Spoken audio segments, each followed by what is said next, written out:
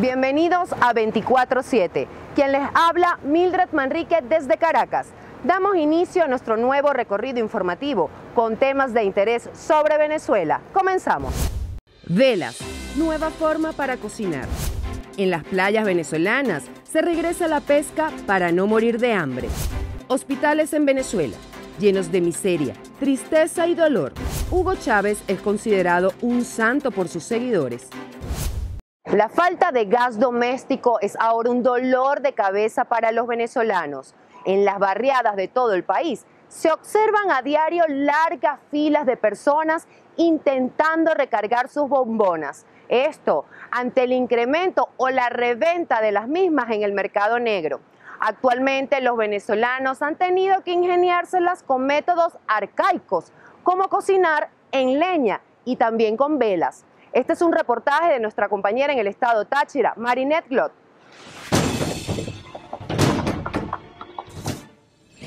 El estado Táchira atraviesa la crisis más grave por falta de gas doméstico de la historia.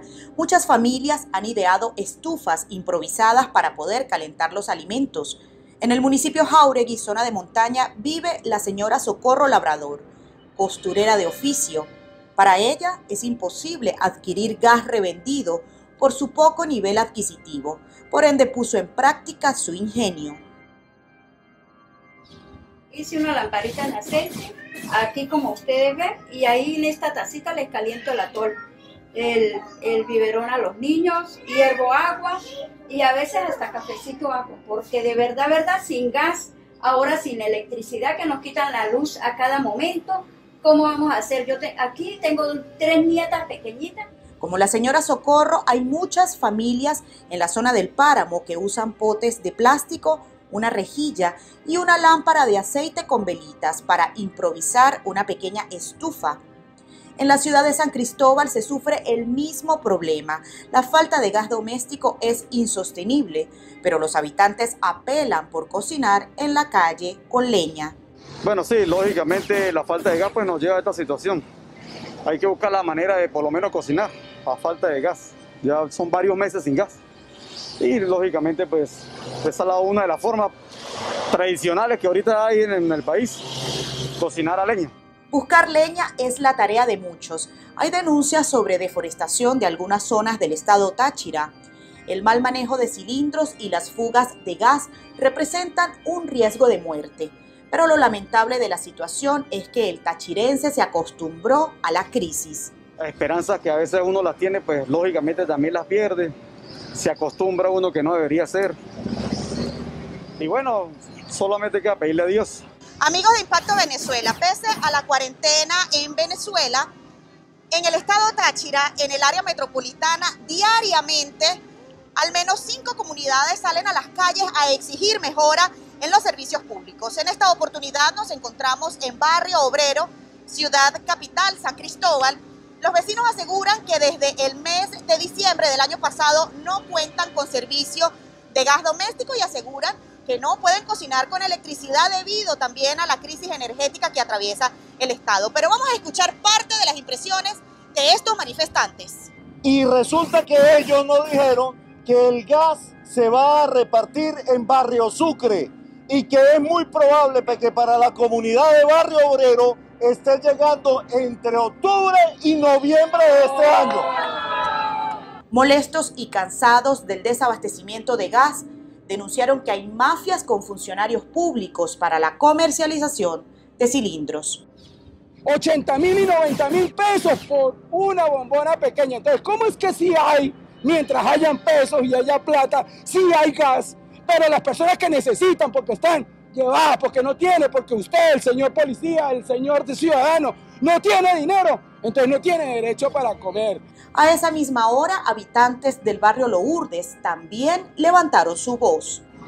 Y hablo no por mí, hablo por toda la comunidad del barrio Lourdes, en la cual tenemos, cumplimos 13 meses sin gas y no hemos recibido ninguna respuesta al gas donde hay niños, adultos mayores, gente con discapacidad y nunca nos toman en cuenta. Simultáneamente, los habitantes de Pirineos 1 protestaban por la misma exigencia. No podemos cumplir con la cuarentena, tenemos que salir de nuestras casas por la falta de luz, inclusive y por la falta de gas, hay que cocinar en la, afuera de, la, de las casas a punta de leña.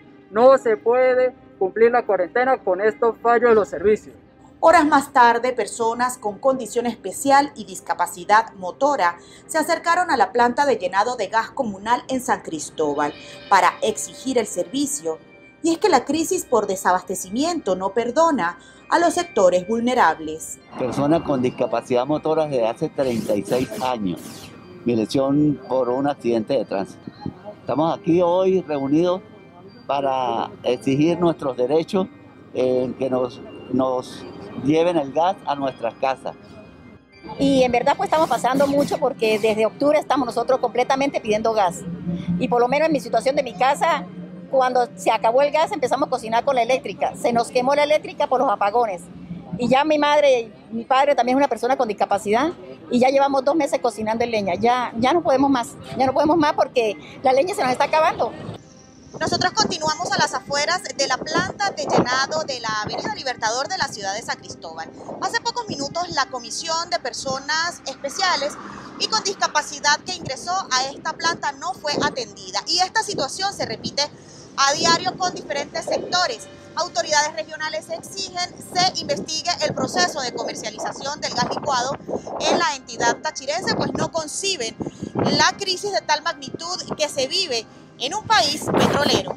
En Táchira, Marineglot, somos Impacto Venezuela. Tener que cocinar de esta forma es un claro retroceso para el país, pero aún así, con el ingenio del venezolano, es como se logra sobrellevar una vida de carencias en pleno siglo XXI. Continuamos con más de 24/7 en Impacto Venezuela. Los venezolanos cada día enfrentan nuevos retos. Uno de ellos es tratar de comer y tener una calidad de vida con tan solo 2 dólares al mes, valor mínimo fijado por el régimen de Nicolás Maduro al trabajo de cada ciudadano. En el estado Vargas, costa venezolana, sobreviven gracias a la pesca. Este es un reportaje de nuestra compañera Ami Torres. Ya el pescado no se vende como antes por eso. pues. Uno más que todo vive del turismo, pues. No. Ya como con la pandemia ahora sí estamos más jodidos. Estamos más jodidos.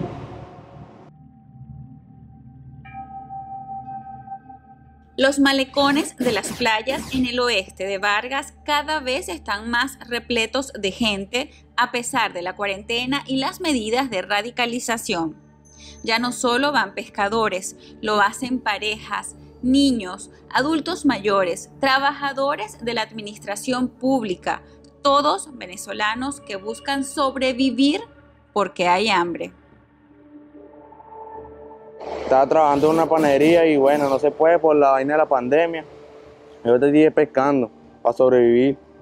Si no, bueno, ¿qué se puede hacer? Ese es el testimonio de un adolescente de 17 años que se quedó sin trabajo en plena pandemia del COVID-19 y que ahora sale a pescar con neumáticos de llantas para poder llevarle comida a sus padres y a su hermano menor. Él es solo el reflejo de la difícil situación que vive el 43% de los hogares del país que reportan imposibilidad de trabajar producto de la crisis sanitaria del COVID-19, según la reciente encuesta nacional de condiciones de vida 2019-2020 que elaboran anualmente las universidades Católica Andrés Bello, Central de Venezuela y la Simón Bolívar. Su familia está además dentro del 93% que se preocupa porque los alimentos se acaben y es que en Venezuela uno de cada cuatro hogares tiene inseguridad alimentaria severa, determinada por la falta de alimentos y la disminución de los recursos para atender la cantidad y calidad de la dieta del venezolano.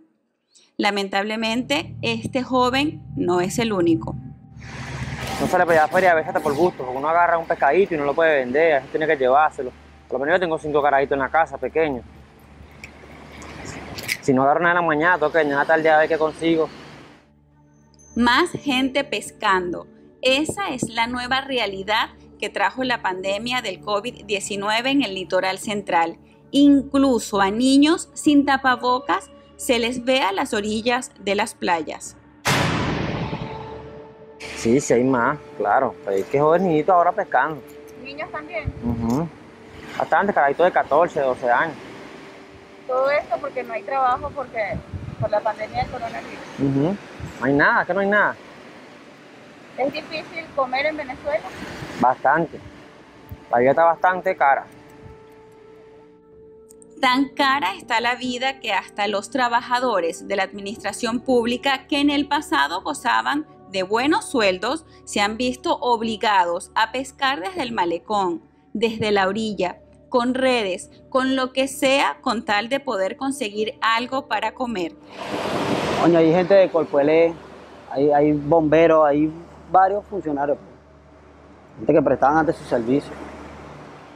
Y vienen para acá para poder sobrevivir. Sí, porque la cosa está recha. Durante la cuarentena social y colectiva que en Venezuela comenzó el pasado 12 de marzo, todo se hizo más cuesta arriba. No hay turismo, no hay trabajo, no hay ni siquiera bolívares en efectivo. Claro, antes uno vendía el pescado, uno pescaba su pescadito y lo vendía de afuera. Ahora para venderlo uno tiene que caminar más todavía. Una guinda de 5 horas la cambia uno por dos arroz, por la situación que está ahorita. pues. Nadie tiene efectivo, bolívares, nada. Nadie, nadie tiene efectivo.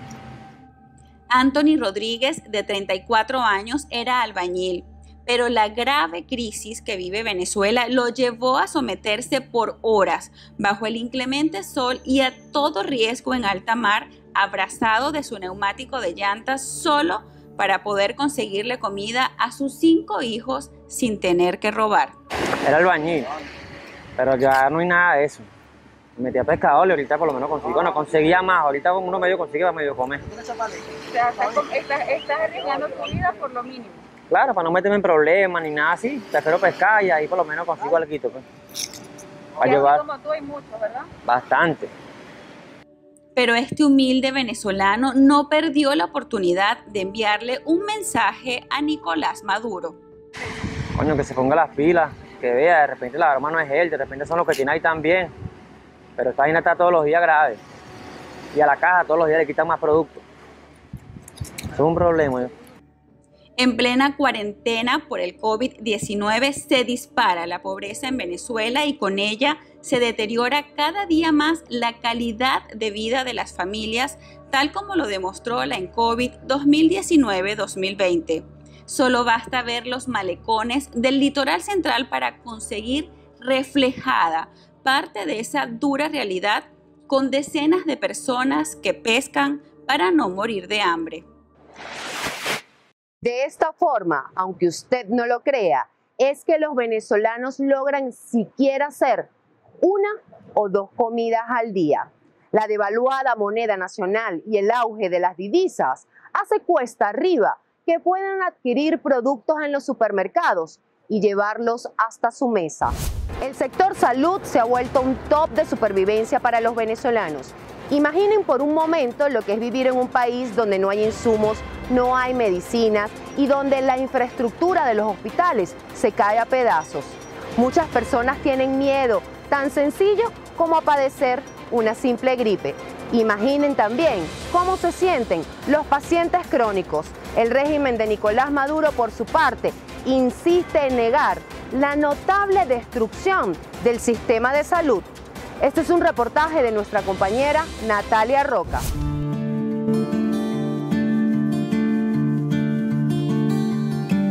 El servicio hospitalario en Venezuela sufre las consecuencias del socialismo del siglo XXI, tras la llegada del fallecido expresidente Hugo Chávez y la bienvenida al poder de Nicolás Maduro. El sector salud en los 20 años atrás tenía algunas fallas, pero esas fallas que tenía no eran ni desde el momento en que llegó el gobierno supuestamente socialista, porque es supuestamente socialista y por supuesto más agudo con la llegada a la presidencia del ciudadano Nicolás Maduro. En Venezuela el servicio de hospitales va en decadencia. Nada parece mejorar bajo la gestión de Maduro. Los empleados del sector salud protestan. Quieren lo que consideran es justo. Tener un salario digno, pero ni con Chávez ni con Maduro lo han logrado. Llegaron los años de Maduro.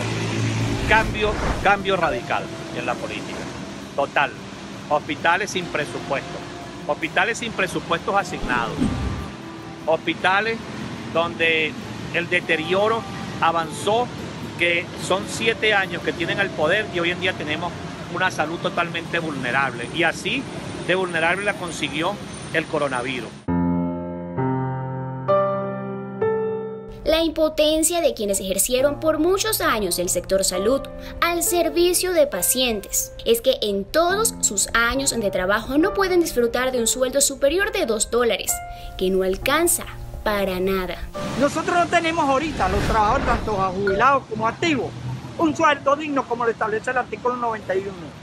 Tenemos una ayuda porque este gobierno de Maduro se encargó de desaparecer el sueldo.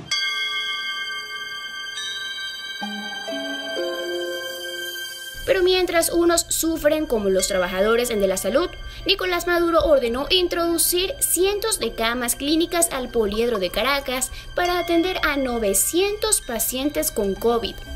El poliedro, lugar reconocido mundialmente porque era el sitio donde se realizaba el Miss en Venezuela.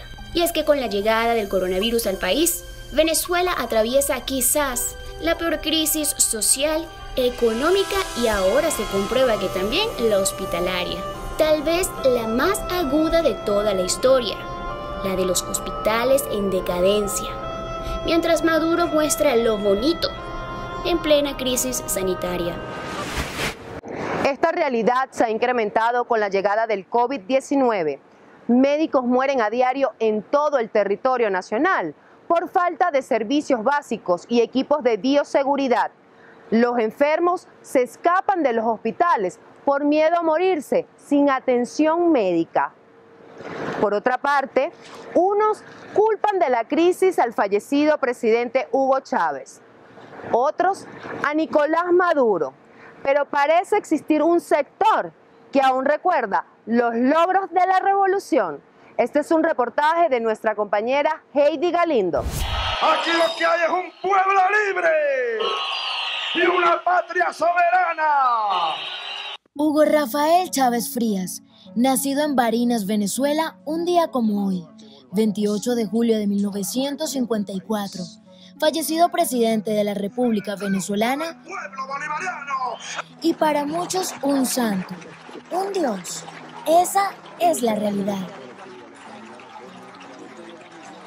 A mi líder, a mi preferido, Llegó al poder de la presidencia un 2 de febrero del año 1999.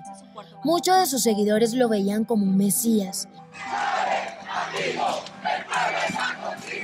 El hombre que cambiaría la historia de Venezuela.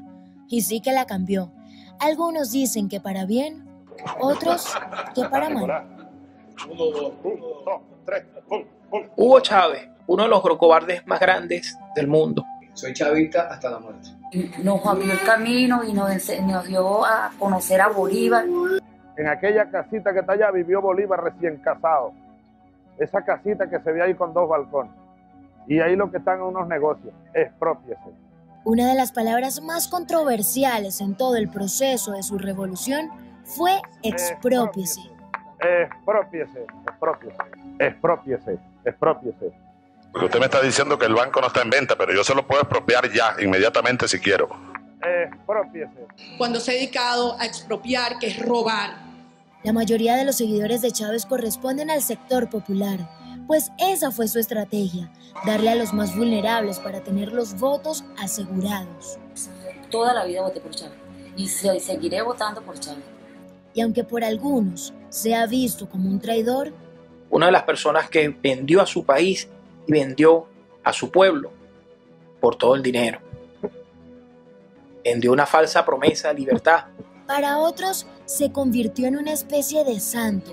Lo adoran y le piden como si fuera un dios, tal como lo dicen, siguiendo su legado. Como él, ninguno. O sea, primero Dios y después él, porque otro presidente como él Y él quería una patria libre, próspera. Luego de la muerte de Chávez el 5 de marzo de 2013, el fervor de la gente por él creció y quienes lo siguen aseguran que serán chavistas por siempre y para siempre.